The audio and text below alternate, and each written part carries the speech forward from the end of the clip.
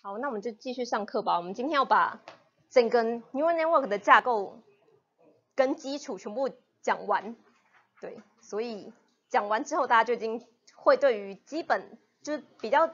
classic 的 neural network 的架构跟里面到底怎么做的，就有个基本的认识。然后之后就会讲各式各样不同架构的 network 是怎么做的，跟为什么会需要这样子的架构。好，那复习一下刚刚的，就是 learning 就是在 machine learning 就是在找一个 function 嘛，所以 given x 当成我们的 input，不同类型的 task，我们都可以找出他们希望能够 mapping 出的那个 f(x) 也是我们 y，就是我们的 output。好，那这个 framework 就是刚刚其实也提过，那再 go through 一下最重要的两块，一块就是 training，就是上半部分，就是在我们看到这些 training data 里面，我们希望能够从我们的 function set 里面选择一个最好的 function。那这边这个 function set 可能会是无限多个，所以我们要有有效率的方式跟比较好的方式去找出这个 function。那之后我们就可以用这个 function，那这件事情叫做 testing。所以根据我们之前没有在 training data 里面出现的这些 x，我们都可以给它 predict 出来的那个 y。好，好，所以现在要讲的就是最重要的部分，就是 training，到底要怎么训练这个 model 呢？所以其实就是上面的这一块 training 的 procedure，我们有很多 function 的 candidate，要怎么样找出最好的这个 function，这件事情就叫做 training。所以会有三个重要的问题，一个是 model 到底是什么，也就是我们这个 function 的 hypothesis set 到底长什么样子。这是刚刚其实也有很多人问的问题，那现在会详细的讲它到底长什么样子。那第二个问题就是，我们就会说找出一个好的 function，什么叫做好？我们要先定义好是什么意思。对，那当我们定义完了之后，我们要怎么样有效率的去找寻这个最好的 function 呢？为什么这件事情重要呢？因为它的数量其实是无限多的，我其实不可能一个一个去试，这其实是不太实际，也没有效率。我们有一个好的方法，能够有有效率的找到那个比较好的方式。好，所以这三块其实就回答了刚刚的三个问题。第一个问题就是 model 到底是什么？就是 model 的长相。所以我们会先简简单介绍 model 的 architecture。那再来第二个第二个问题就是什么叫做好的 function？所以我们会定义一个叫做 loss function 的概念，来去告诉你怎么评估一个 function 它的好坏。那第三件事情就是 optimization，意思就是我们怎么样有效率的找到那个好的 function，这是一些最佳化的问题。好所以就进入第一个问题，就是 model 到底长什么样子？那回顾上就是上一堂课讲的，就是我们知道它就是很多 neuron，然后它会有一些边把 information 传进来，然后它会再把 information 传出去这样子。所以刚刚的这些例子做一个分类的问题，比如说分成 binary 的 label，或者是分成数个 class 的 label。上面分成正跟负，我们就称它为 binary 的 classification。下面如果我有两个以上的选择的分类，我们就称为 multi-class 的 classification。所以你可以把它想成是我们这个 input 进来之后，我们 predict 就是有两个 label，就是有两个数值，class A 就代表 yes，class B 就代表 no，就是只分成两个。那如果是数个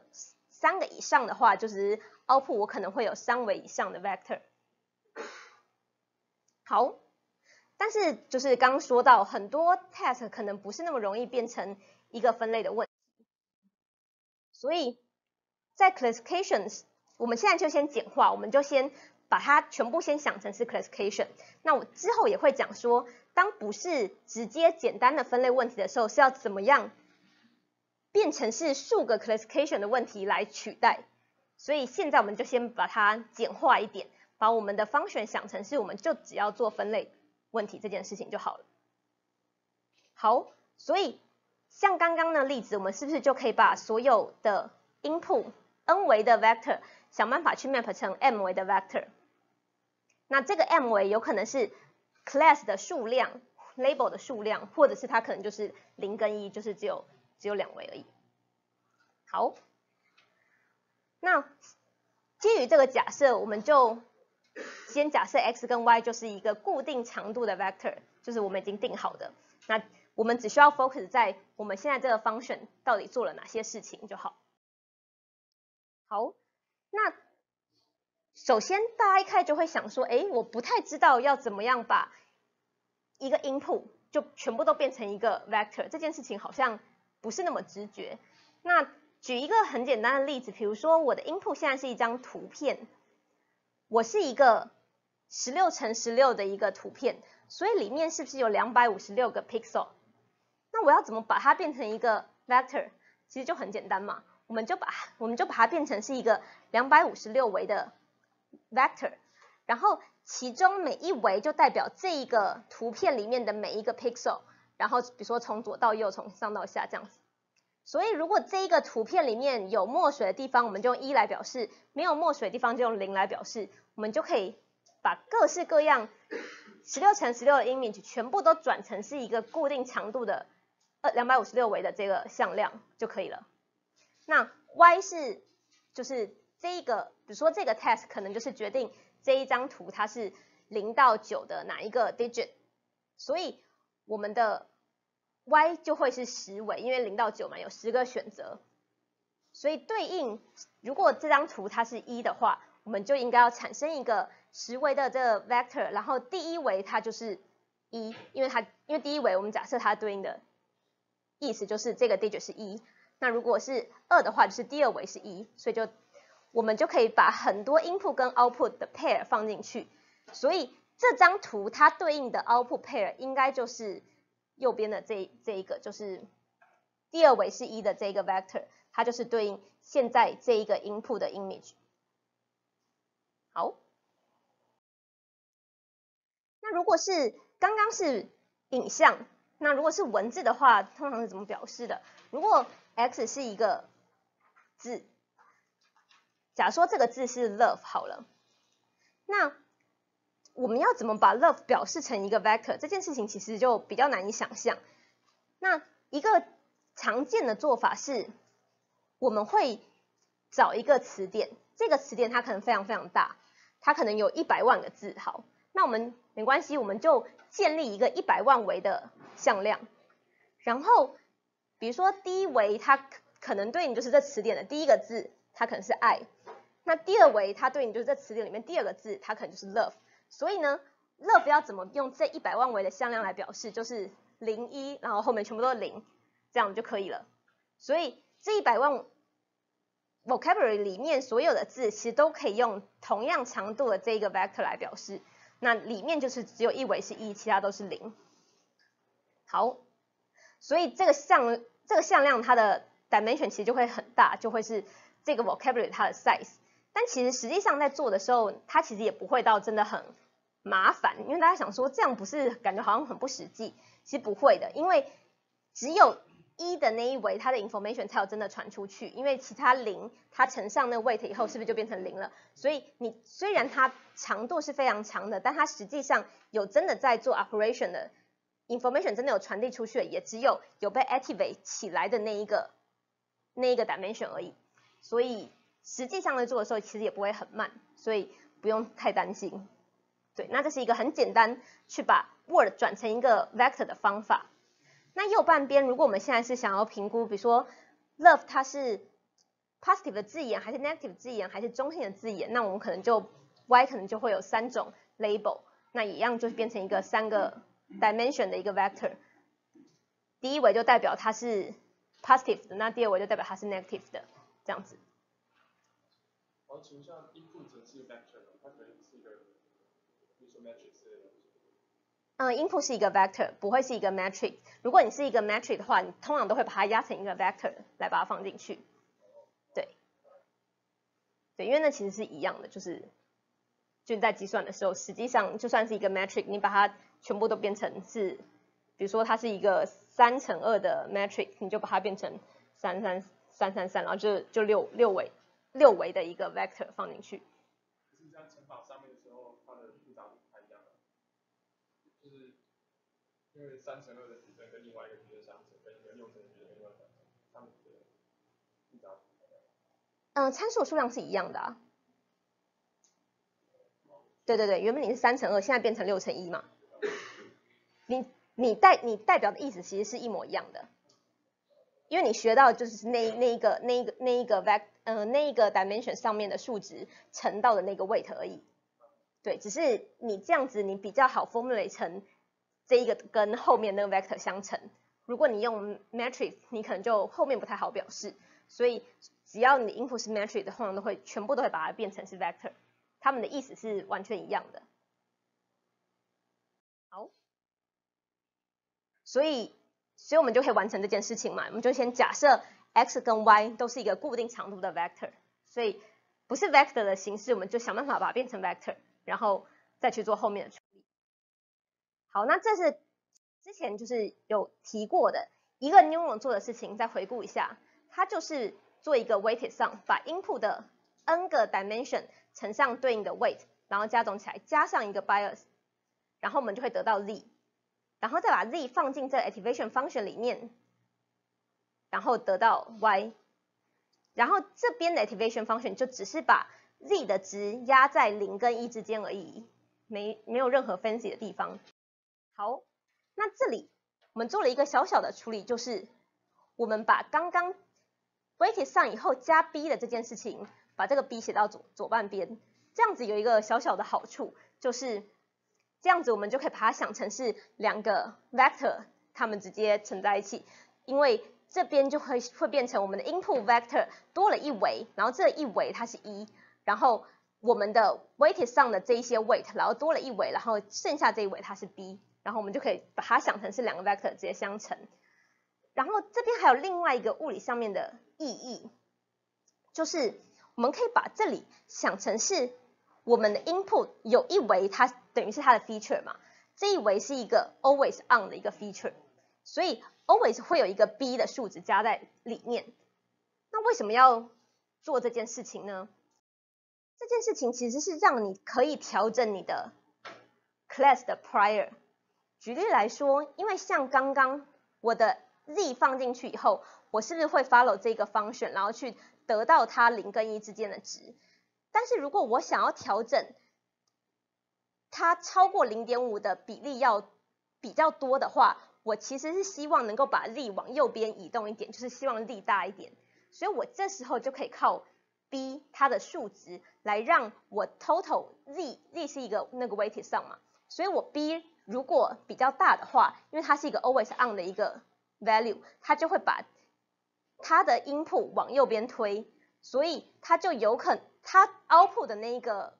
activation function 之后的 output 那个 y，它的数值就会比较大，所以它其实概念上就是它给你这个 class 的一个 prior。如果我希望这个 class 它 always 可以 output 比较多，超过零点五的数值，我可能就可以给，我可能就会学到 b 会比较大。那如果另外 class 它是比嗯 prior 其实比较少，就它超过零点五数值的几率应该比较少的话，我们其实就会给它一个比较小的 b 或者是负的 b，让它可以往左边移动，让它 output 超过零点五的那一些 y 数量是比较少的。对，所以 balance 的概念其实就是在这里。好，所以我们就会把它写成这样子，我们 x 我们这个 function 的长相就是这个 neuron 它做的这个 basic function，它其实就是把这一个 w 它是一个 vector，里面有 w1 到 wn 这里面所有参数，然后乘上你的这个 x，然后再加上 b，然后再放进这 activation function 里面，就会等于我们的 y，这就是我们一个 neuron 做的事情，非常简单。所以在这里面一个 neuron 里面的参数。参数就是我们可以调整它的 weight 的那一些 information，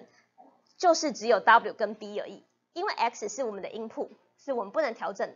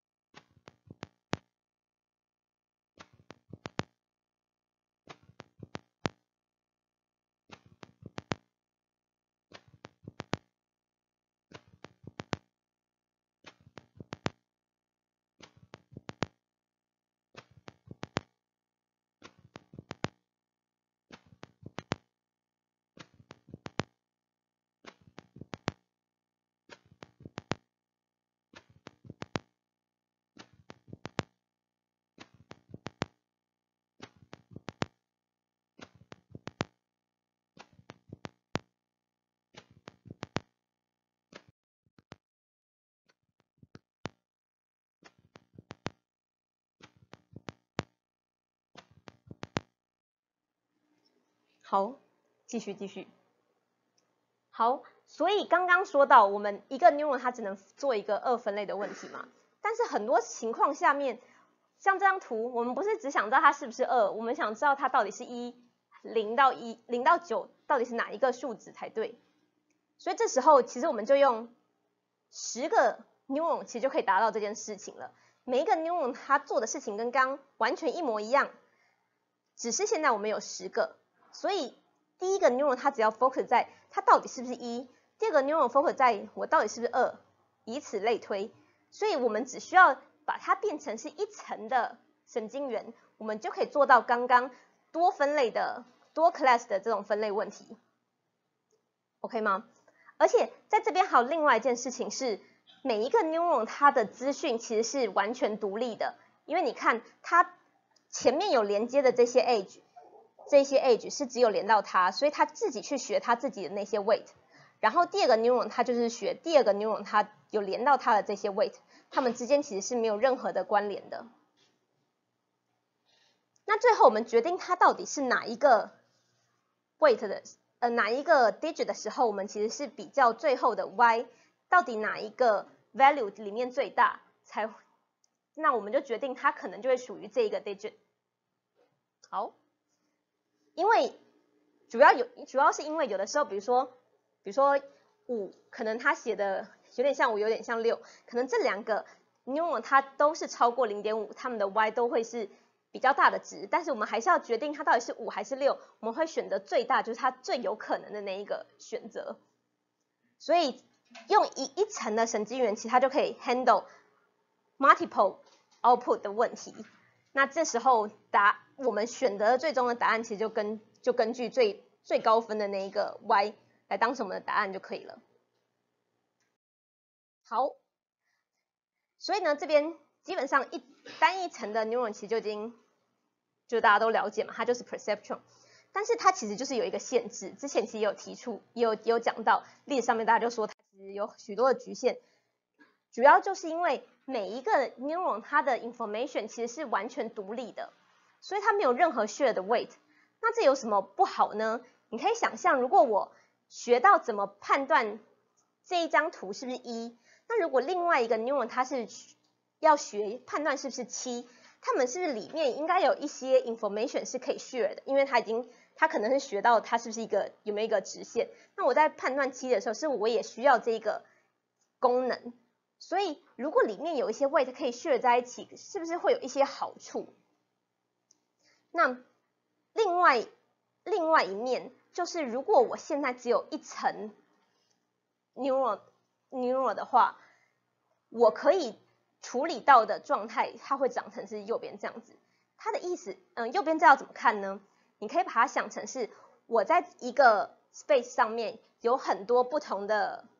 嗯，不同的 input，有一有二有三，然后我希望能够用建出这样子的曲面，把一跟比如说二跟不是二的分开。假如说就这样子，就我们这样子把它想的简单一点，那一层的。neuron 它能够处理到的、能够产生的曲面，大概就是长长相是这样子。它唯一可以调整的只有它这一个曲面它的 location，就它到底要在哪一个位置，还有它的旋转的方向，就它可以它可以这样转向，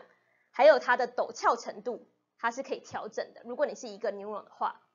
所以如果它是可以直接这样被这样子长相的东西分开的话。它其实就可以用一个 neuron 一一层的 neuron 就可以做得很好了。但是你应该知道，很多情况下它不会长那么分开的那么漂亮嘛。所以如果你的你只能局限在这样子长相的分离的曲面，你其实是没有办法把真的把比如说二跟不是二的分的那么开。那这样子，如果它有一些混在一起的状况，这种曲面分不开的话。就代表我们用一层 network 的架构，其实是没有办法学得很好，所以这是 perception 的一个局限，主要就是因为他们其实没有 share 相同的一些 knowledge。所以如果我们就是简单来看一个 perception 它的表达能力的话，小小的这个 perception，是不是就是在做这个就是 w one w 呃乘以 x one 加 w two 乘以 x two 它的一个 weighted sum，然后去根据它的 y 值来决定它是 yes 还 no。所以在这个简单的例子，如果我的 data 是白色跟黑色是两个不同 class，这样子我就可以切开。那左如果它在左下角，第二种方式我也可以切开。可是如果它长成像这样，我绝对是没有办法找出任何一条这样子的边，这样子的分界，把这两组切开，切得好。所以这就是 perception 基本上面的限制，它能力其实是没有这么大的。所以主要就是因为我们的 data 不是 always 是可以 linear separate，所以我们的架构其实就需要再更复杂一点，才能模拟到更复杂的 data 的 distribution 的状态。好，那如果你想象我们现在如果只有 and 跟 or，到底是怎么 implement x or？像刚刚那个第三种状态。所以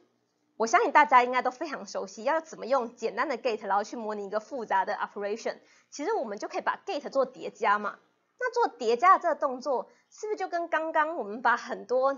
layer 叠在一起的动作很像呢？所以原本我们一一层 network 做不到的事情，我们可能叠了多层以后就可以做到了。所以像刚刚我们原本 XOR 是分不开的，但现在我们叠了多层之后，就有可能可以模拟到 XOR 这种 operation，所以就可能可以把它分开。所以我们就要用 multiple 的 operation，像是 multiple 的 layer 去 handle 比较复杂这种 output。所以我们就想到了，好，那我们就从 single layer 的 perception 衍生到 multi-layer perception，也就是我们的 neural network。所以现在第一层结束以后，我们就可以再产生第二层的 network，让它把第一层的 information 再把它合起来。那这样子的好处是什么？像这里面后面的这个 z 是不是就用到了前面这两个 neuron 的资讯？所以前面两个可能可以 focus 在非常简单、更简单的 test 上面，然后后面我再决定是。这个数字是一还是七的时候，我可能会用到学习值值的长条线的那些特特征跟功能，然后再加上可能学习一个横线这样子，然后组合起来。所以每前面的每一个 neuron 它可以 focus 在比较小 task 上面，那后面它可以应它可以把各式各样不同的小 task 的组合共同 share 一些 weight，然后让它的能力可以更强。那中间的这就跟我们前面有讲到，中间这些 information，因为它的 output 是我们看不到的，所以我们会叫它这整层叫做 hidden layer。那里面的每一个 node 就叫做 hidden unit。好，所以如果我们看在 multi-layer perception，它的表示法其实就会比一单一一个 perception 其实更更加的 powerful。所以刚刚是不是我们只有一个这样子？这样子应该算是一个有点像悬崖的东西。那如果我们把它变成是两层的话，其实就很像是两个像刚刚那切切切成悬崖的那个面，它面对面的接接在一起嘛，所以它就是它就会产生一个像这样子一个山坡的状态。那这样子的好处是，如果它现在 data 的分分布是可以用这样子曲面把它，它如果可能这边有一一小段是集中在这这里上面，但但旁边它可能都是另外一个 class，我们其实就可以用这样子的形状把它切开。一样，我们的参数是可以调整它的 location 啊，它的喜它的 ori 那个 orientation，还有它的陡峭程度，就它可以平一点，或者是再更尖一点。那如果叠的三层的话，它能力就更强了，因为它很好就可以想象成它就会变成这样子。所以就算中间有一个很奇怪的一个 data，它就是分布分布在很高，跟其他的另外不同的 class 有点集集中在一起，但我们其实也可以借由这样的尖尖的地方去把它 model model 到正确的位置，所以我们就可以这样子把它切开，其实能力就更加的复杂。所以，这其实就是把两两个这样的 region 合在一起，就变成一个这样。我也不知道这在地形上面要怎么形容，但它叫做一个 bump。所以我们可以调整一样，我们可以调整它的大小、它的高度，都是我们的参数可以调整的范围。好，所以这样子是不是就上升了刚刚的表示能力？刚刚只能表示这样子一个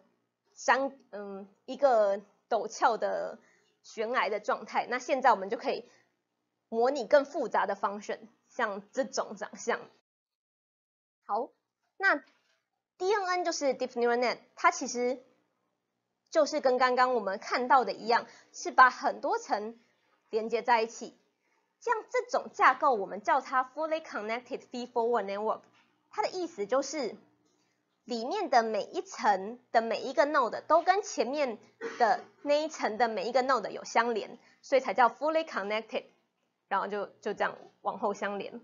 所以这是一个非常基本的概念。当然，你也可以设计一些。有一些边就是不相连，就觉得它们 weight 不该传过去，你就不相连，对。但是最基本就是我们就让它全部相连。那我们希望真的没有关系的那一些 weight，它也会自己学出来它的 weight 应该要很接近零，所以它的 weight 就不会从前面那一层传过去，对。因为这是一个非常基本的架构，就是每一个 node 都都可以用到前一层的所有资讯。所以中间的这些 hidden layer，如果它的 hidden layer 数量是超过一个就是两个以上的话，我们就可以称它是 DNN 了，就是它是 Deep Neural Net。所以如果你只有一层 input、一层 hidden layer、一层 output，这样子就只是一个基本的 neural net，不会叫它 DNN。但是如果你只要有两层 hidden layer，你就可以说它是一个 DNN。虽然有人可能会说，哈，这不是没几层吗？也叫也叫深度哦。那其实没错，就叫做深度。深度学习就叫做 DNN，你只要多于一层的 hidden layer，其实就算是 deep neural net 了。接着我们就要定一些 notation，这边其实会比较无聊一点，但是这还是有点重要，因为之后会一直用到这些 notation，所以还是要有一个很基本的了解。所以我们先看左边的这边是 D L 减一层的 layer，这边是 D L 层的 layer 的那些 neural，那里面。Neural 的 output 我们用 A 来表示，因为它是经过 activation function 之后的结果，所以用 A 这样子可能比较好想，所以 A 就是 activation function 之后被 activate 的那一个零到一之间的数值。所以 ALI 的意思就是 L 就是 D L 个 layer，那 I 就是 D I 个 neural，就就这样，非常简单。所以每一层我们会有数个 ALI，就是根据它的 node 数量。所以我们可以把它全部想成是一个 NL 长度的一个 vector，然后就叫做 AL。所以这就是第 L 层它经过 activation function 之后的那个 neural net output。好，那中间是不是会有很多 weight 做连接？那我们这边用 W 来表示。这边为了方便表示，这边会有一点小小不直觉，但就是没有没有那么重要。就是 WLIJ 的意思是，L 的话就是从 L 减一到 L 层这边的 L，然后 IJ 的话这边是刚好相反呢，有点小小的不直觉，就是 IJ 的话是从 L 减一层的 J 到 L 层的 I，就是刚好相反，这只是为了后面比较好表示，对，但有各式各样的方式来表示这，其实这都。都可以的，对。那为什么要为什么这边呢会那么不直觉？那其实就只是因为我们是希望能够用一个 matrix 来表示这一个 W，因为中间你是会有很多个，你会有 NL 减一个 J 跟 NL 个 I，所以你实际上是可以把这些 W 所有的可能性其实变成 NL 减一乘上 NL 的。的可能数值，然后我们把它排成是一个 matrix，所以这样子我们就用整个 WL 来表示，就是第 L 减一层到第 L 层的这些全部的 weight，就用一个 WL 来表示。那这是有一些后面我们在写的时候写式子上面关系的好处。那现在就只要先记得两层之间的 weight 传递，我们就是用 WL 这个 matrix 来表示就可以了。好，那第三个就是这很简单，这就是 bias，bias 一样，BLI 的话就是 d_l 层的 d_i 个 neuron 它的 bias，所以一样它也是一个 vector，所以也是用一个 vector 来表示。好，那我们做了哪一些事情？刚刚是不是有一个 z？z 其实就是在还没有放进 activation function 的时候做了 weighted sum 之后的那一个 output，所以。这边一个 zli 是 zli 跟 ali 的差异只有有没有放进 activation function 而已。那 zli 它会是前面的每一个 a 乘上它对应的 w 嘛？这边就是跟前面是完全一样的，只是现在我们现在用了 notation 会看起来稍微复杂一点点，但其实没有任何太复杂的东西，它其实就是。对应的那一个 neural 前面那一层的 neural，然后乘上它对应的这一个 weight，然后加总起来而已。所以简化一点，我们可以把它写成这样子，然后再加上对应的那个 bias。所以 zli 它其实也是一个 vector，对吧？因为这边只是一个 node，它就有一个 summation，那里面有一样是有非常多个 node，就是有 nl 个 node，所以 zl 也是一个 nl 长度的 vector，这边要记得的就只有 z 是经过 activation function 之前的那一个 vector 而已。好，所以我们刚刚有 a，a 就是 neuron 的 output，就是经过 activation function 之后的结果。那 z 是在 activation function 之前的结果，然后它都是一个，它们都是 vector。然后 wij 是一个 weight，那整个 w 它是一个 matrix，跟前面有点一点点不一样的就是这里，那 bias 就是一个 vector。好，那它们之间的关系到底是什么？我们刚刚说了这么多，其实就是要把它写成一个漂亮的式子。所以它们之间的关系，a 跟 z 之间的关系很简单，a 跟 z，a 要怎么样到 z，是不是就是？每一个 a 会乘上它的 w，然后变成 z，所以它实际上就会变成是 matrix 乘上它对应的这个 vector，然后再变成下一层还没有经过 activation function 的那一个 vector，所以就是 z，就长这样子。你可以仔细去检查它里面的那些关系，然后就会发现，没错，为什么我们刚要写成 w i j 其实是 j 到 i，其实只是为了要这样子。好，我把它写成 matrix 的相乘，那样就不用 transpose，对，就只是这样而已。但你可以概念上就把它想想想到是这边的这个 matrix 对应的那一些 weight 会乘上前面那些 a 它对应的那一个 neuron 它的 output，然后再加上 b 以后就会变成下一个 layer 它的 input 就是 z，所以 a 到 z 之间的关系其实就长这样，它就是乘上 weight 加上 bias 变成 z，它跟简单的一个 single neuron 其实是一模一样的，只是现在是变成 vector 跟 matrix 而已。好，那从 z 到 a 就更简单了，因为 z 跟 a 的关系只有有没有放进 activation function 而已，所以基本上它就是这样子，这很直觉，就是把这个 z 放进整个 vector 放进 activation function，然后一样就会到会产生我们对应的那个 a 的 vector。好，所以。a 到 z 跟 z 到下一层的 a，它们之间关系是这样。刚我们从前面两张图片已经知道了。所以如果我们要知道前面一层的 a 到下一层的 a，它们之间关系会是怎样，那不就是 follow 这个式子？那这个式子其实跟 single neuron 的式子其实长得也非常的像，只是现在就是变成 vector 跟 matrix 的相乘而已。对，所以刚刚那些复杂 notation 简化来。简化来看，其实就这么简单而已。好，所以我们如果在经过很多层的 network 的，嗯，很多层的 network 的 combination，其实每一层它可能就会长这样子。A one 会从是从 X 乘上 W one，然后再加 B one 来的，然后 A two 一样，它只是它前面的 input 变成 A one。所以最后你实际上可以把它想成是你最后的 output，也就是 function 的 x，它会等于这个，疑似有点丑，但你仔细看一下，其实也没有什么，就只是 x 乘上 w 加 b，然后再乘上下一个 w 再加 b，然后中间要经过 activation function 这样子的结果而已。所以这个复杂的方选长什么样子，是不是就是长这个有点复杂的样子？里面我可以调整的参数就是所有的 w。和所有的 b，OK，中间记得都有那个 activation function 哦。如果少了 activation function，就会发生一件麻烦的事情，待会提到到底发生什么事。好，如果我们看一下 activation function，它有哪一些可能？大部分我会说，它可以分成 linear 跟 non-linear 的，但是只要是 activation function。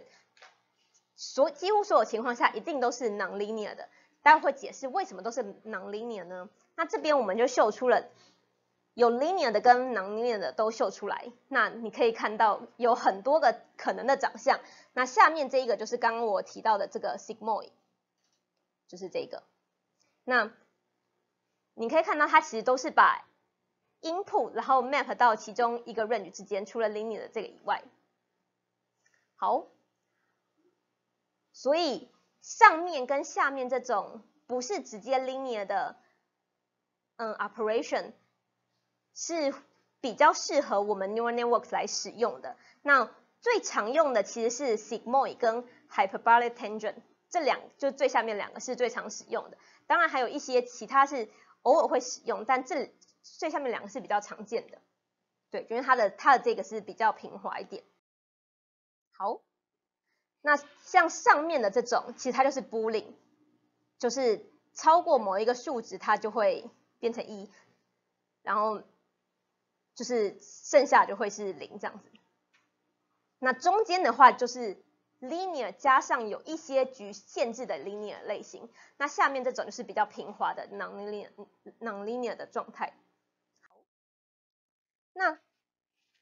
如果是 nonlinear 的 activation function，我刚刚说到常用的是 sigmoid 跟 ten hyperbolic tangent，还有另外一个在后面某一种 recurrent neural net 的架构会比较常使用到，就是叫做我们会叫它 ReLU，就是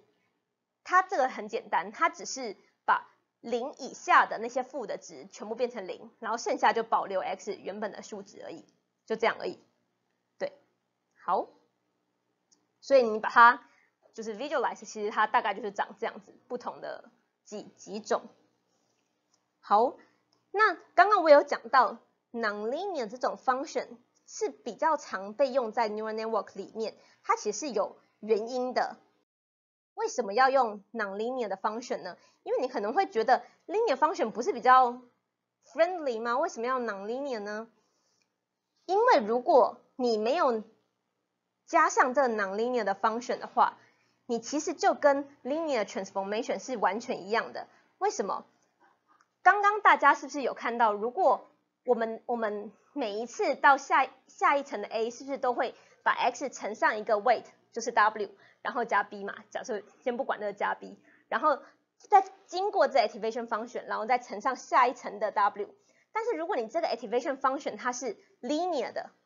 那是不是就会变成像这样子？其实你这两个 matrix 就可以直接相乘啦，因为它就是一个 linear 的 combination。所以我为什么要分成 W1 跟 W2？我就直接去学一个大 W，它其实就是 W1 跟 W2 相乘的这个 matrix 就好了。所以如果你没有把 nonlinear 的那一个 activation function 放进来的话，你就可以，你就根本就不需要把它分成两个小的动作，它等于就是一个 operation 而已。所以我们强迫它分开，是为了要让它能够 model 到更复杂的状态，每一个 focus 在小的 basic 的 function 上面，让它们经过 activation function 之后相乘，能够 model 到复杂度其实是可以上升的。好，所以我们就可以 model 比较复杂那些方选因为我们强迫这两个 matrix 是分开独立的，它没有办法直接乘在一起，用一个大方选来 approximate。因为如果可以用大方选来 approximate 的话，我们把它分成小的 basic function 就没有意义了。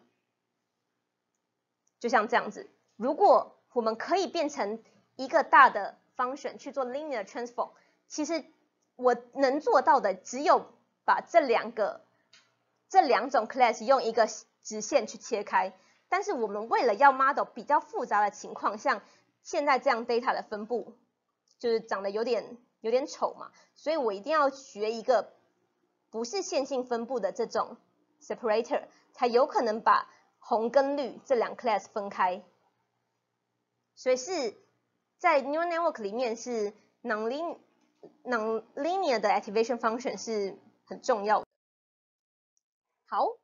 那我们就进入下一段，就是我们要解释什么是好的 function，就是 good 到底是什么意思。所以在我们我们这边就会定义一个叫做 loss function 的东西。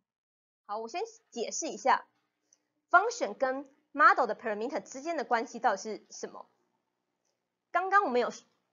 看到这个式子嘛？这个式子就是我们这一个很复杂这个大方选就是 f(x)，那它其实是长这样子。如果我是一个 DNN 的话，对吧？所以我现在可以调整的，就是里面所有的 W 跟 B，所以我只要有一种 assign W 跟 B 的方式，它其实就产生了一个 function。所以我是不是有很多很多种 assign W 跟 B 的方式？我是不是就可以产生很多很多可能的 function？这个就是我们的 function set。OK，所以你的 function 的 hypothesis 就是你 function 可能那些 candidate，其实根据你的 model 的长相而来的，有没有发现？因为你的 model 是不是就成了 L L 层 layer，所以就会有 L 个 W，所以你这些 L 层的 W 里面的每一个值，你只要有一个数值换掉以后，你就会产生一个新的 function。所以每一种 assign W 跟 B 的 parameter 的方式都会变成一个新的 function。那你有无限多种 assign W 跟 B 的方式，所以你现在有无限多种可能的 function 的 candidate。所以我们现在可以调整的就是这一个所有这些可能的参数里面的数值。那我们全部会用一个 model parameter set 用西塔来表示，所以我之后只要写西塔，你你就知道，反正它就是我所有可以调整的 model 的参数，就是所有的 W 跟 B。好，所以我们现在选一个 function 这件事情，你就可以把它想成是选一组好的 model 的 parameter，对吧？因为我只要决定了一组参数之后，这个 function 是不是就决定了？所以我再找一个方选，就等于是在找一组西塔，这边没问题吧？好，所以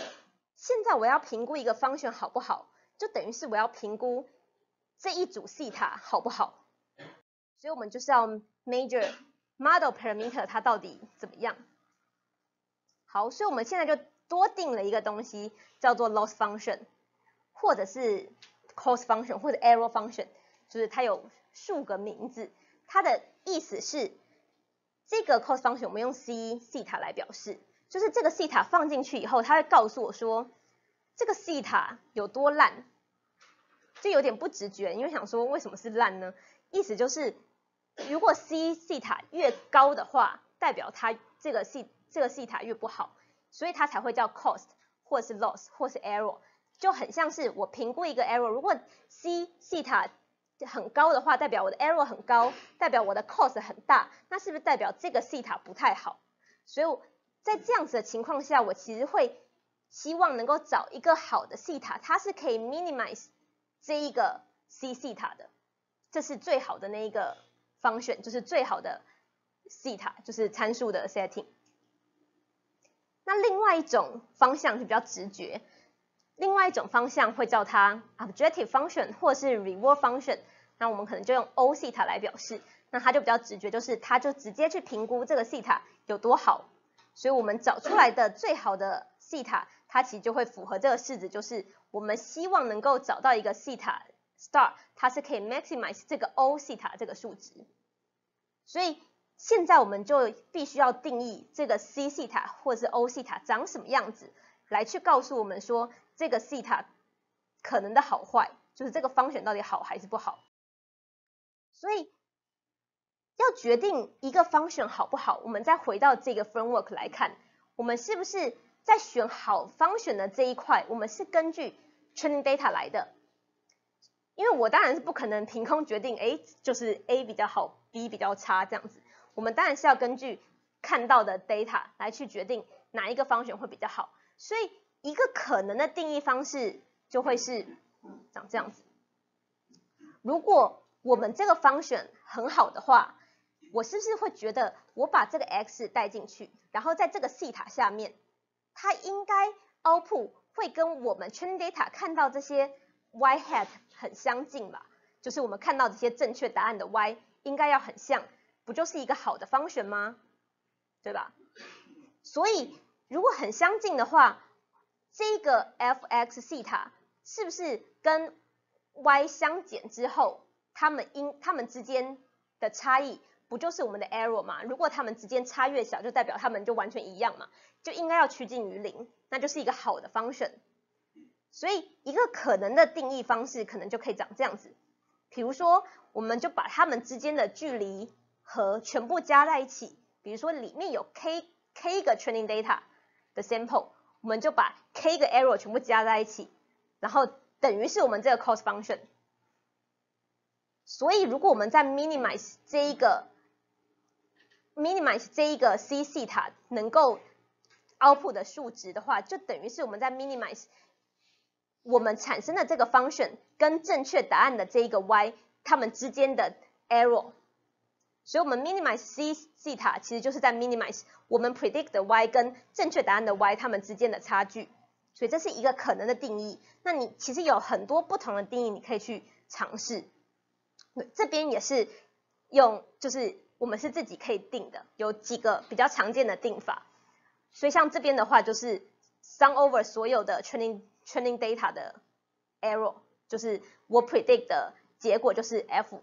x，那答案就是 y hat，所以相减之后就会是它的 error 的差距。所以这是几个蛮多个就常用的 loss function，那就是详细的意义你就是可以再去看。那这边我就只是秀一下，不不继续去讲。好，诶，到这边可以再再休息十分钟吧？对。休息十分钟，四十，诶，应该是三，诶，到底要几分回来？啊，十分钟后，对，大家自己估一下时间。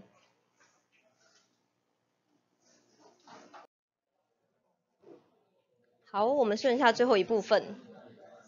最后一部分就回应了刚刚三个问题中的第三个，就是要如何找出这个最好的方选呢？刚刚我们是不是已经定好了 model？也就是定好了我们的 function candidate 嘛，那我们也定了要怎么去 measure 一个 function 它好不好，就是一用我们的 cost function 或者是我们的 objective function 去找 c 西塔或者是 o 西塔，然后寻找最好的那个西塔。那第三件事情就是到底要怎么有效率的找到这个西塔呢？这就是 optimization 的问题。好，所以。我们现在问题就变成这样子了。现在我们已经给定我们的 loss function，那刚刚怎么定 loss function 就有很多种可能嘛，你可以就是你可以自己决定。那还有我们 model 的参数的那些 set，那我们目的就要找出一组一组 seat，呃，一组 C 塔，它可以 minimize 这个 C C 塔。所以要怎么样解这个问题？第一种就是我们。能够，我们能不能尝试所有可能的西塔，然后去看它的结果，看哪一个西塔可以让 C 西塔最小？那当然是无法做到的，因为因为实在太多，就是无限多组，我们是没有办法一一去 trace。那另外一个方式呢，就是大家曾经学过的微积分。通常你你想 C 西塔如果是最小的情况下，是不是在这个这个位置，它其实对西塔的偏微分其实应该会是零呢，在这个概念下面，我们就可以做一些有效率的找寻西塔的动作。好，所以第一个可能的做法就是 gradient descent。好，大家其实应该是学过这东西，但你有可能完全失忆了，所以我们现在先想办法让你恢复记忆一下。很简单，假设现在西塔只是一个变数而已，就是非常简单的 case，所以 x 轴就是我们的西塔，那 y 轴就是我们的 c 西塔，那它就是一个方选嘛。但是我们不知道这 c 西塔长什么样子，对，所以就就只是现在就是先画出来让你看，但实际上你是看不到的嘛。就我们想要找到的就是一个可以让这一个 c 西塔比较低的这一点，或者是这一点这样。好，那怎么做呢？我们先定义西塔 i 的话，就是在第 i 个 iteration 的这一个西塔。所以假如说它如果在西塔零这个位置的话，它可能它的 cost 可能就这么高。那如果在西塔一，可能就会变低了。接着不同的西塔是不是有不同的这个数值？那我们要我们不知道这方选的长相的情况下，我们要怎么决定现在我们要怎么选这个西塔呢？gradient descent 的概念就是，就这边其实这个方选虽然我们看不到，但是它就像是一个存在的一个坡度嘛。所以如果我们把一个球丢到这个山坡上面，然后我们就看这个球会在哪里停下来，应该就是它比较低的那一点。这是这个概念。那实际上怎么做呢？我们就随便从一点开始，就像我们随便从任意点把球丢下去。所以如果我们丢在这一点的话，这时候我们要做的事情就是。在这一点，我们去算这一点的偏微分，对西塔偏微分。微分的定义是什么？大家回忆一下，微分的意思其实就是微分之后的数值，它就会等于在这一个方选上面的这一点它的斜率，就是切线的斜率。所以如果它右边比较低，左边比较高的话，这一点的斜率，这一点切线的斜率是不是就应该是负的？就长这样。所以，如果它的切线斜率是负的话，代表我要往右边走，它才会变得更低。所以我的西塔就应该要减掉这个数值，因为这是负的嘛，所以就减掉这数值，所以西塔就会变大了。那我会多乘一个 e 塔在这边，这个的意思其实就只是 learning rate，就是它是一个常数，它控制的，它控制我一步走的。脚步的大小，如果这个 e 塔很大的话，就是我一步往右走，我要走大步一点。那如果它很小的话，就是我走一步，我要走小步一点而已。好，所以第二个时间点，它可能就会到达西塔 one 的这一个位置，因为它知道它往右走了。所以我们再做一次同样的事情，就是我们在这边再偏微分一次，所以我们就可以在这一点又得到它切线的斜率，所以它一样还是负的。所以我们一样就是一样带入这个式子，我们 iterative 的就可以改变我们的西塔的数值，让它再渐渐的往右走一点。所以以此类推，它的 iteration 的方式其实就是此刻 i 时间点的这个西塔，然后减掉偏微分之后的这一个斜率的数值，然后乘上一个 e 塔的这一个 step size。然后变成是我们的新的这一个西塔的数数值，所以我们就可以知道，一开始随便丢下去以后，我们就可以知道到底是要往右边走还是往左边走会比较好。好，所以这边的这个 e 塔就是 learning rate。所以你可以想象，刚刚是只有一个变数的例子，如果是两个变数的话，也是长差不多，只是刚刚是一个曲线，现在就是一个曲面。所以我们现在有西塔 one 跟西塔 two 的两个不同维度的变数。那它的曲面就是我们的 cos function，所以一样我们就把一个球丢下去，我们一样可以根据个别的个别的这一个西塔 one 或西塔 two 来决定西塔 one 跟西塔 two 应该要移动的方向。所以唯一的不同其实只有我要多计算一个数值而已，跟刚刚一一个变数是完全一样的状态，只是现在我就变成是一个 vector，所以我每一次要计算这个 vector 对于在西塔上面的偏微分，所以我每一次 update 参数的时候，偏我 update 的这一个西塔，它其实就是一个 vector，所以我每次计算的时候，它就是根据这个 vector 去做偏微分的计算，它会根据对应的那一个变数，然后去做偏微分，我们就可以知道这一个西塔西塔 one 到底要往哪边移动，西塔 two 要往哪一边移动，就像这样子，好。所以以此类推，下面就是完全一样。所以 algorithm 其实就非常的简单，我每一每一个时间点就一直 update 我现在的西塔。所以如果是在这个例子上面，我们再看一次，如果它的归点算出来是在左上角的话，你其实就应该是知道它其实要往右下右下角移动。所以一直这样移动，它可能就会找到它比较好的那一点。比较好的那一点代表它产生的 C 西塔的 cost 会比较低。好，所以这就是归点 descent。好，那我们再重新来看一下，之前我们是不是一直都有看到这个 neural network 的 formulation 就长这样子嘛？所以如果在这上面做归点 descent 的话，你所有可能的参数是不是就有所有的 w 跟所有的 b 非常非常多？但是我们还是一样带入这个简单的 algorithm 都可以做到，只是现在参数非常多，所以你的这一个偏微分要偏微的对象非常非常多而已。所以假设说它就是一个非常非常长的 vector，然后里面会要对你里面所有的西塔的参数，就是所有的 w 跟 b 都要进行偏微，所以这才是为什么 computation power 非常重要，因为实在太多要计算的了，所以。这边是一个 simple 的 case，你可以勾数一下，非常简单。就是如果现在只有两个，呃，input 只有两维的状态下，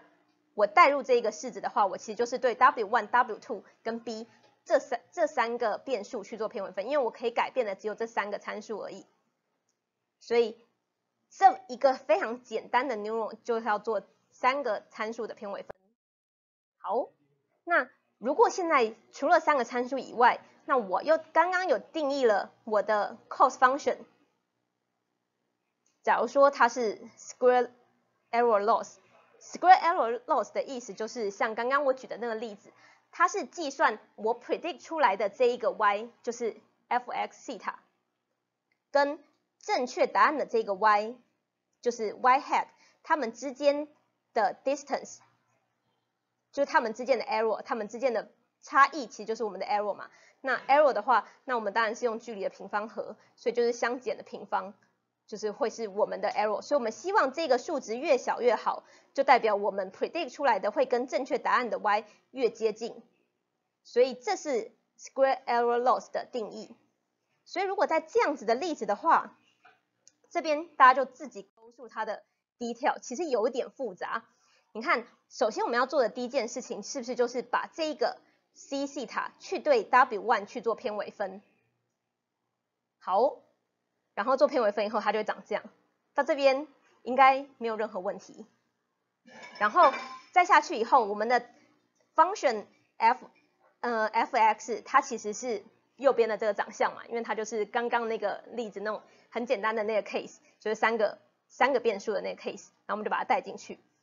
所以中间我们又要再计算这个东西。这东西要怎么算？其实我们会用到一个，大家要回回忆一下圈弱，这个我会走很快。那如果你回去再自己勾数一次，或者你自己试着算一次，你可能就会比较有 feel。对，就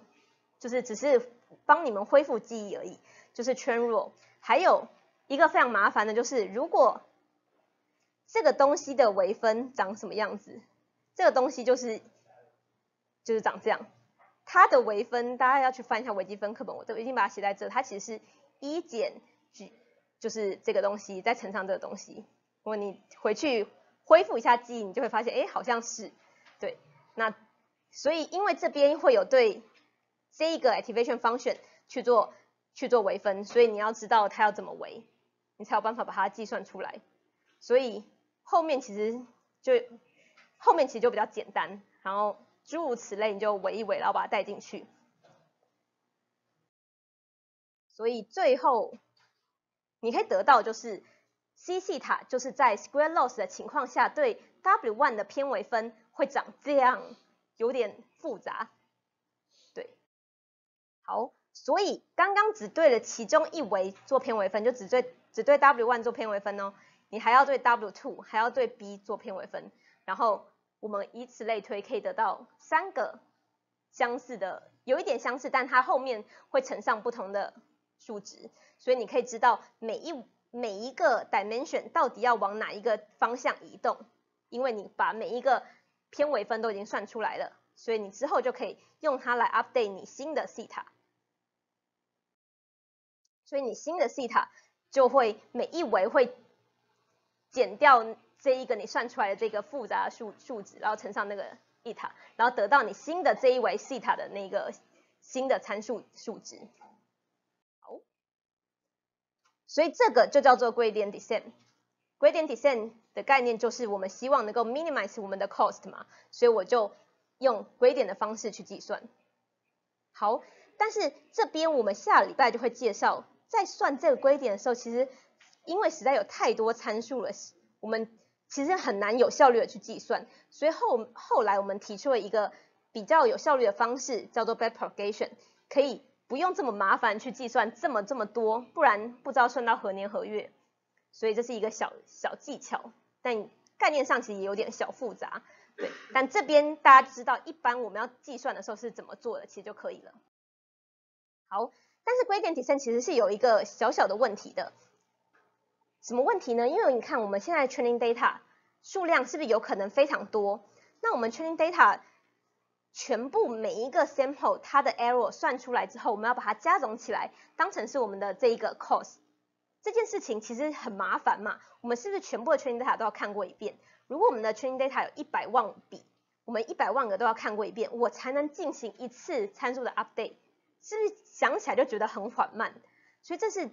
在 gradient descent 它上面的一个小 issue，尤其是在 big data 的情况下就会非常的麻烦。所以我们就想到了另外一种很简单的想法，是因为全部都看过。以后很慢，呃，全部都看过再做 update，这样子 update 的速度太慢了。那我们能不能够只看一点点就做 update？所以第二第二个方法就叫做 stochastic gradient descent，它跟 gradient descent 很类似，但是它的方法有一点不一样。它的假设是来自于原本的 gradient descent，你的你要去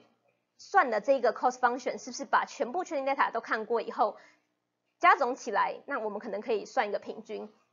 那 stochastic gradient descent 它的假设是在于，我一开始随意从 training data 里面选择一个 sample 就好，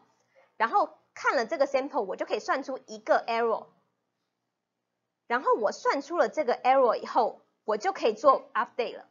然后他 claim 说，这样子的效果是，我只要把全部 training data，因为我都是。用个几率分布，然后去 sample 出来，所以它的期望值会跟我原本去做 gradient descent 它的这个这个数值其实是一样的，只是我现在看了一个 sample，我就可以做一次 update，原本是要全部看完我才能做一次的 update，所以这样子我可以就比较快，但是我我的方向其期望值其实是一样的，就是我知道我是要往哪一个方向走，只是我不用全部看完我就往那个地方走，我就是。快速的小步小步的往那边走，好，所以这样子，他每一次看完一个 training sample，我就可以进行一次 update，所以这样子可能就会比较有效率，不会那么缓慢。那这边我还要先定一个东西叫做 epoch，之后会讲它到底是干嘛用的。好，在 epoch 的定义是，首先你在跑就是 sc 嗯 SGD 就是 stochastic gradient descent 的时候。你是不是会随便选择一个 x one，然后就开始去 update 你现在的 model，产生 theta one，然后以此类推嘛？当你把所有的 training data 都看过一遍以后，这件事情我们就叫它一个 epoch。对，它的定义就是这样子。那大家会想说，那我们会再看第二遍吗？有的时候当然是会的，因为有的时候我们在看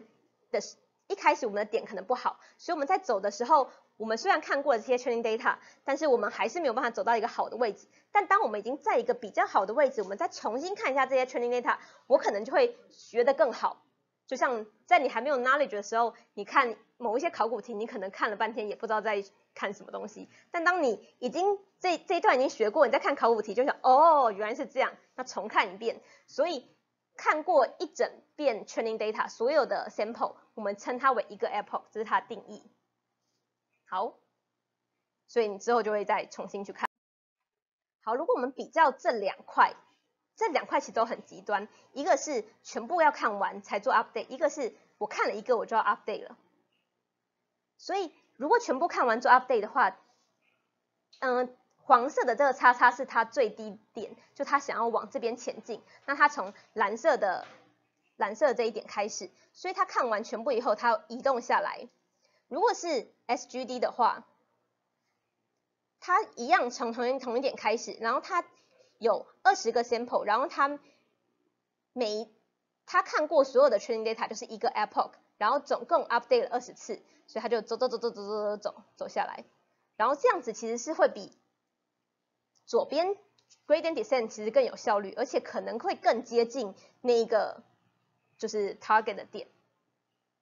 对，所以这样子其实只是一个 epoch，就他看的资讯其实跟左边看资讯是完全一样的，但它其实是会比较有效率的，所以它可以前进，因为它前进的次数比较多，虽然实际上看的资讯是一样，但它是有可能更接近这个 target point。所以如果这两个其实都是有一点极端的例子，我们有没有一些比较中间的例子？当然可以啦，因为像刚刚大家就会想想说。为什么一定要全部看完，或者是只看一个？我们是不是可以看数个？然后这个数个它其实是一以上的数值，但却没有包含到所有的 training data，这其实就叫做 mini batch 的 SGD。这其实是最常现在最常用的方法。它的概念很简单，我一开始先 sample 第一个 training sample，那我们就叫它是一个 batch，然后我就在这一个 B 里面去做。gradient descent 就是我这第一个要看完以后，我做一次 update。所以如果我一个 epoch 它里面假如说有二十个 sample 好了，那我现在定义这个 batch 它的 size 是五，那现在是不是我在看完所有 training data 里，呃全所有 training data 就是一个 epoch 的时候，我其实做了四次 update，因为我看完五个做一次 update，看完五个做一次 update，看五个做一次 update，看五个做一次 update，所以二十个二十个。training data 就是一个 epoch 里面，它就做四次 update，那会比 SGD 来的少，但是会比 gradient descent 来的多，就是在一个中间比较中间的做法。所以上面就是我全部要看完 k 个 sample 全部看完才做一次 update，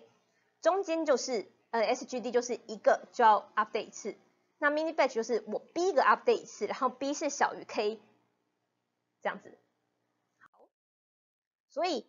这个是，嗯，这个 algorithm 其实你你看一下，其实也没有任何 fancy 的地方，唯一的重点就只有我一开始它这边我刚是 sample 的 size 我叫做 b，那它这边就是 sample m m 个，就是当成是它的 mini batch。好，然后就在下面做，就是就算就算它的 error，然后全部加总起来以后做一次的 update。那比较它们之间的。performance 差异，你可以看到红色的，嗯，左边到右边是 same，嗯，batch size 的数量，所以 stochastic 代意思代表我们现在 batch 的数量是，呃，的大小是一，然后如果我的 batch size 跟我所有的 training data 一样大的话，是不是其实就是 gradient descent？所以这边就是 SGD，右边就是 gradient descent，然后红色是 training time。蓝色是 accuracy，所以如果你看一下 training time 的话，你可以看到左边是 SGD，最右边是 gradient descent，中间都是各个不同 size 的 mini batch。你可以看到 training time 其实 mini batch 是最有效率的。那当然可想而知，gradient descent 一定是最最没效率的嘛，因为它实在太慢了。那 mini batch 是比 SGD 来的更好。这件事情你一开始听到时候会觉得有一点。难以想象，就想说为什么呢？为什么我同样都是我同样都是 update 比较多一点点，为什么 mini batch 会比 SGD 来的更有效率？就是 mini batch 速速度大于 SGD 大于 gradient descent，但是前面两个的关系你会觉得有点不直觉，那是为什么呢？其实这是因为。在电脑上面的设置，你看 SGD，我们是不是每一次 sample 一个 x，它就乘上这个 w，然后得到 z，以此类推嘛？我们有很多个 x，x 就是每一次 sample 一个。如果是 mini batch 的话，我一次是 sample 数个，就是 b size 的这个 x，当成我们的 training data，然后一样，我一次 update 是不是一样去乘上这个 w，然后会得到下一个时间点的这个 z。原本是要做两次这样子 operation，现在我是做一次，下面会比上面，虽然我的资料量的大小合起来其实是上面合起来才会等于下面的，没错，但是实际上在现在的 modern computer 里面，matrix 跟 matrix 的相乘的数的效率是比 matrix 跟 vector 相乘的效率来的更好，所以它的速度不，它的花的时间不会是上面的时间的两倍，所以它其实是会比较有效率的。所以这就是为什么 mini batch SGD 其实是会比较有效率的原因，所以也比较适合。那在 deep learning 里面有很多 issue，比如说 local optimal，就因为你的这个 curve 长得可能很丑，那如果我用一个球把它丢下去，它可能就会卡在 local minima，像这边可能都是 local minima，这个才是 global minima。所以会有一些各式各样的小 trick 来解决这些问题。那之后会讲，比如说我可能就 random 从不同点丢下去，我希望能够有一点会 reach 那个 global 的 minimum。那在 deep learning 里面，现在还理论上面会有一些缺点，就是在 neural network 里面，我是不保证你一定可以找到 global optimal 的那个 solution。我只能跟你讲说，你可能会比较有机会找到一个不错的。function，但这个 function 我没有办法给人替你，它一定是 global optimal。对，这是目前 neural network 上面的理论上面的限制，还没有，目前还没有解决。好，那最后讲一些 practical 的一些 tips，比如说 initialize。我你可以看到这张图，如果我从不同的点开始，可能就可以会进入不同的 minimal 的那个停停滞在不同的位置，所以。在一个比较好的点开始可能会比较好，所以我们可能会 random 的从不同点开始，不然我每次从固定一个点开始，我每次都会掉到同一个，可能都会掉到同一个 local minimal，。所以我们就是要从，就是通常会用 random initialize 当成它的 initialization 的 point。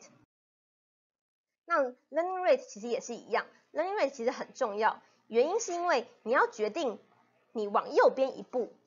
你现在在这一点你要往右走。如果你这一步设太大，你可能不小心就走到另外一个山坡上了，根本就根本就滚不下去，对吧？那如果你设的有一点大，你可能会走到走下去没错，但你在之后你还是没有办法 reach 比较低的这个点。所以那走每一次你就想说，那我就每次都走小小的其实就好了，那是可以的，没错。但是走小小的他可能就学得非常的缓慢，而且也会有。一些如果它卡在中间比较平的地方，它可能就卡住了，它不知道要继续往右。对，所以要怎么样设一个好的 learning rate，其实是一个很麻烦的事情，也很复杂。而且你有可能会觉得，在很在很平缓的时候，我应该要走大步一点；在很陡的时候，我应该要小步一点，以免错过它的那个 low，它的那个比较低的那一点。所以 learning rate 其实应该要动态调整才对。那 mini batch 的 training 有一些小 tip，像是我每一次可以把现在这整个 training data，它是整个是一个 epoch 嘛，因为我看过所有的，它其实就，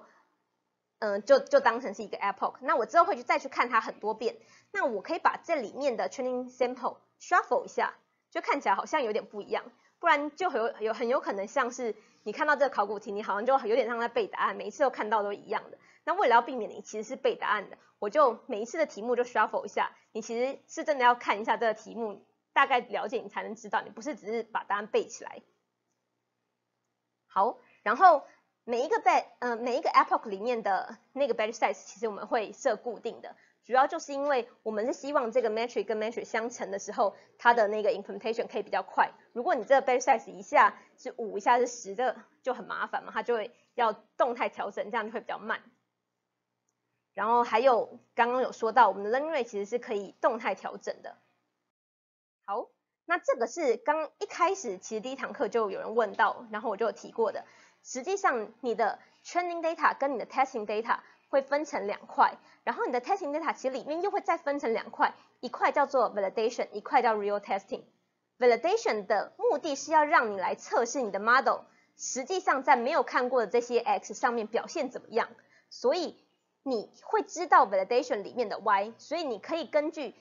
现在你 model 对 validation set predict 这些 y 来测验你现在 model 表现的好不好。那 real testing 其实你根本不知道真正的 y，因为你可能真的拿去使用了，或者你 model 就要上传上去了。那传上去以后，可能只有助教才会知道真正的 Y 的答案，你其实是不知道的。那你要怎么样测验测试你的 model 一开始训练的好不好？你其实就是要看 validation set。好，所以这边就是你马上可以知道 performance，右边就是你一直到 submission 的时候，你可能才会知道，或者是你可能不去收集根本就不会知。那另外一边就是，如果你在 training data 上面 performance 不好的话，那是不是就代表有很大的问题？可能是你的 model 设的不好，或者是你的参数设的不好，因为你连已经看过答案的那一些都还没有办法 predict 正确，不是就有很大的问题吗？所以你可能就需要去调整你的 model 的架构，或者是调整你可能的参数的数量。然后如果你是已经在 training data 上有好的表现，你才会去看你的 validation set，我们也会叫它 develop set，有没有好的结果？如果有的话，其实就好了嘛，就可以传上去了。那如果在 validation set 没有的话，其实有可能就叫做 overfitting。overfitting 意思就是你过于相信你的 training data，所以导致你在没有看过这些 data 上面，你的表现不好，但是在有看过的表现就特别的好。就像是你死背了考古题，但是只要它做了一些变化，你就不行了。所以实际上你真的没有学到里面的内容。所以这件事情叫 overfitting。这个图就表示意了一个 overfitting 的概念。红色的方选是真正的方选。那如果你的测你的 models 设定太过简单的话，你可能只能学到这样子，会跟你真正的这个方选长得不太一样。那这个是刚好差不多。那如果你把它设的太复杂，这就叫做 overfitting。你学到的这个蓝色的，是不是会变得非常复杂？因为它你看到的这个 data 其实只是部分的。你在真实你没看到那些 data，你可能分的都是错的。所以这这样子的情况下，就叫做 overfitting。你过于相信你看到那一些，但是你没有办法 generalize 到你没看过的那一些 data 上面。所以可能的做法就有，你可以再收集更多的 training sample。因为如果你在这边 boundary 能够收集一些 training sample，你可能就可以学到这边其实才是要这样平滑一点，或者是你可以加入一些在 neural network 上面的一些 trick，比如说 dropout 等等。好，那这个章节大家要记得的概念其实就是这三个重要问题，就是 model 到底要怎么设置，就是 model 的 architecture，还有什么叫做一个好的 function，就是我们要定义这个 loss function 去 measure。一个参数的好坏，再来是我们怎么用不同的 optimization 的方法来寻找这个好的 function。